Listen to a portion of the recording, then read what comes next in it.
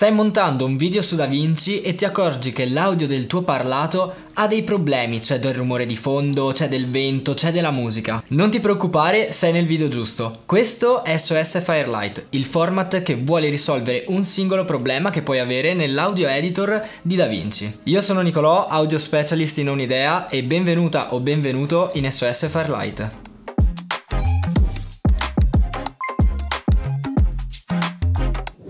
Come sempre ricordati di indossare delle cuffie e possiamo partire. Qui ho preparato per te tre diverse clip con tre problemi diversi. La prima è una clip registrata con l'iPhone dove c'è il rumore del climatizzatore e del computer di Beatrice. Ok, abbiamo il computer con le ventole praticamente al massimo. Sì. Il eh, climatizzatore. Qui invece abbiamo un'altra clip registrata con un action cam e della musica sopra il mio parlato. Ok, questa è la prova con la musica sopra.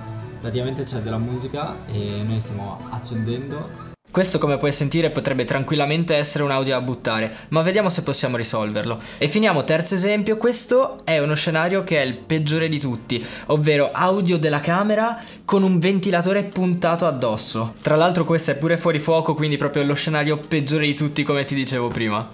Sono io e sì, questa è una prova col microfono interno della e con un ventilatore puntato. Bene, primo scenario, andiamo su Firelight e ti mostro dove puoi trovare il plugin che andremo a utilizzare. Intanto allarghiamo la pagina del mixer, che è questa, e come vedi abbiamo diversi parametri. Quello che a noi interessa adesso è Track FX. Se non vedi l'opzione Track FX sul tuo DaVinci non ti preoccupare, clicca su questi tre puntini e spunta Track FX. Come vedi qui adesso comparirà tra input e order questo nuovo parametro, ovvero track FX che è composto da voice isolation e dialog leveler.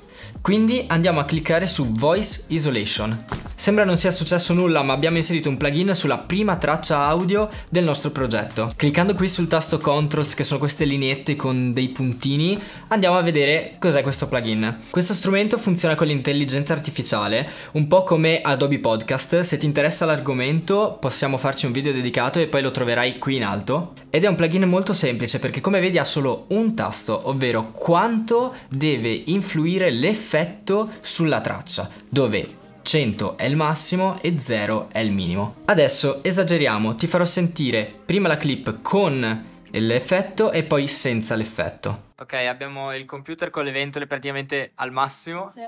il eh, climatizzatore e vediamo cosa fa il voice isolation.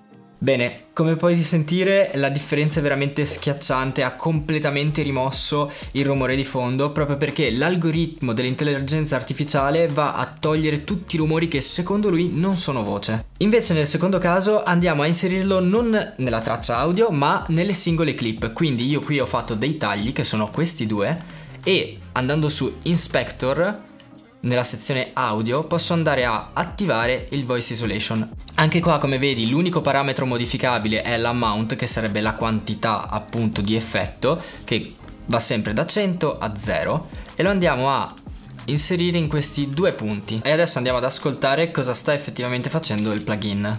Ok questa è la prova con la musica sopra praticamente c'è della musica e noi stiamo accendendo e spegnendo il voice isolation per sentire com'è il risultato con e senza in un audio in cui ho della musica. Assurdo. Bene, come hai potuto sentire l'effetto è veramente strabiliante, è anche vero che in questo caso l'ho voluto volontariamente forzare così tanto, si può sentire ancora qualche artefatto della musica quando io parlo, quindi è da usare ma con consapevolezza. Ultimo esempio, caso limite, sono andato a inserirlo su questo ultimo pezzo di clip, infatti come vedi qua c'è scritto FX proprio perché è andato a inserire un effetto solo sulla singola clip e il risultato è il seguente.